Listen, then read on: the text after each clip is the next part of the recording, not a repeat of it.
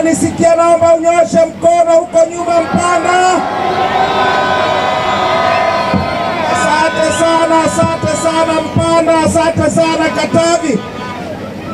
Dr. Bashiru Ali leo amesema, ni leo jana, amesema kwamba Chadema ina mpango wa kuigawagawa nchi yetu mapande mapande yanayoitwa majimbo, halafu yatawaliwe na magavana kama ilivyokuwa wakati wa ukoloni. Sasa ndugu zangu, Dr. Bashiru Ali ana akili kuliko anavyozionyesha kwa kauli kama hizi. Iko hivi ndugu zangu, sisi Chadema tumesema kwamba tutatengeneza mfumo mpya wa utawala ambao utarudisha mamlaka katika mikono ya wananchi. Sasa naomba naomba, nimesema nifafanue hiki kinachoitwa majimbo. Hiki kinachoitwa majimbo ni, utawa, ni utaratibu wa utawala ulioko katika nchi mbalimbali dunia hii. Msumbiji ina majimbo, Zambia ina majimbo, Kenya ina, ma, Kenya ina county siku hizi, ilikuwa na majimbo zamani. Kongo ina majimbo, Marekani ina majimbo, Ujerumani ina majimbo. Nchi nyingi duniani zina majimbo. Ni nchi chache sana zenye mikoa kama Tanzania. Sasa kuna tofauti gani? Kuna tofauti gani kati ya majimbo tunayopendekeza sisi na mikoa tulionayo leo? Jambo la kwanza moja ni kwamba utawala wa majimbo ulikuwepo katika Tanganyika yetu mpaka mwaka elfu moja mia tisa sitini na mbili. Mwaka mmoja baada ya kupata uhuru, ndio majimbo yakavunjwa, mikoa ikaundwa.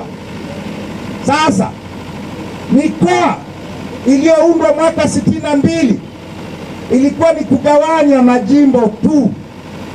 Utaratibu wa kutawala majimbo na utaratibu wa kutawala mikoa umebaki vile vile kama ilivyokuwa wakati wa ukoloni. Sasa hili linahitaji ufafanuzi ili mwelewe, Majimbo ya kikoloni yalikuwa yanaongozwa na magavana na, na, na wakuu wa majimbo wanaitwa provincial commissioners. Makamishna wa majimbo walikuwa wanateuliwa na gavana wa kikoloni, hawakuwa wanatawaliwa, wanachaguliwa na wananchi. Wananchi hawakuwa na mamlaka yoyote juu yao.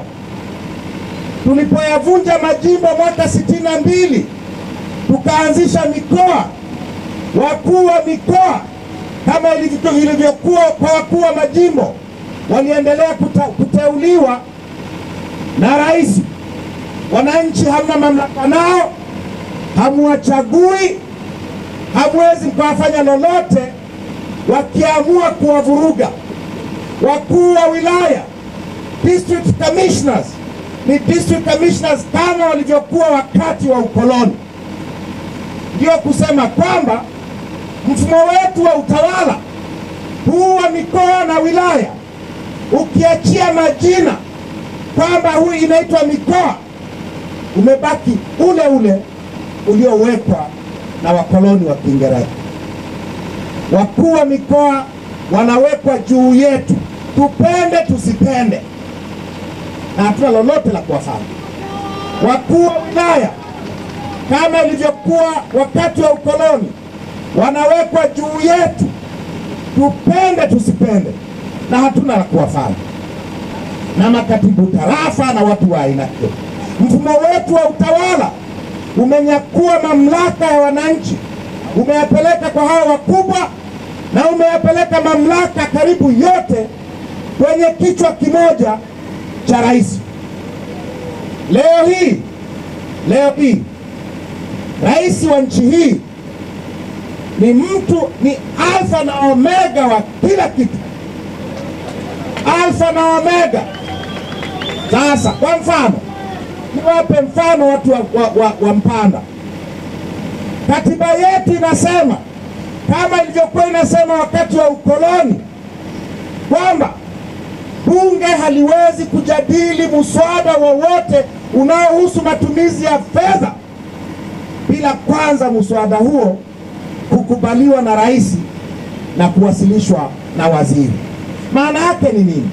Maana yake ni kwamba bunge haliwezi likaamua jambo lolote la maendeleo yenu linalohusu pesa mpaka rais aseme.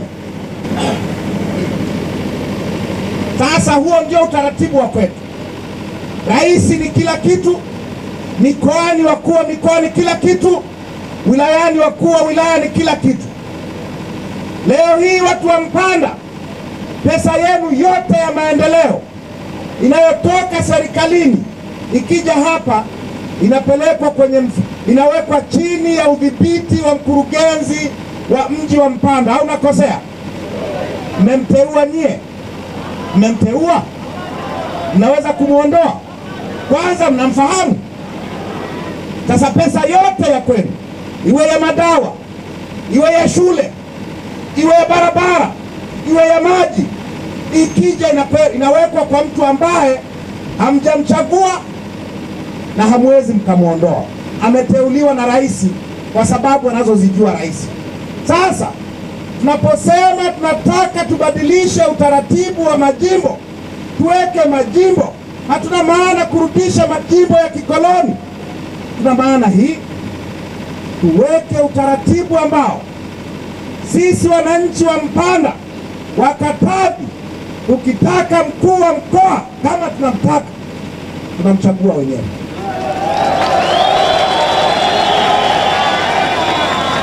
Tukitaka mkuu wa wilaya kama tunamtaka, tunamchagua wenyewe.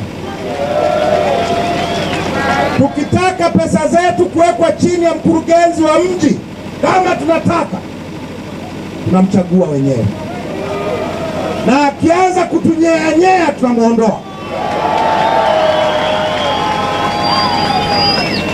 Tunataka masuala yanayohusu maji ya Mpanda, maji ya Katavi yaamuliwe na wananchi wa Katavi.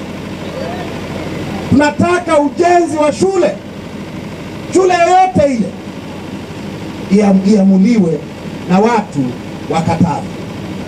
Tunataka miradi ya hospitali, wananchi wakisema tunahitaji hospitali, tusisubiri rais aseme, tuamue wenyewe.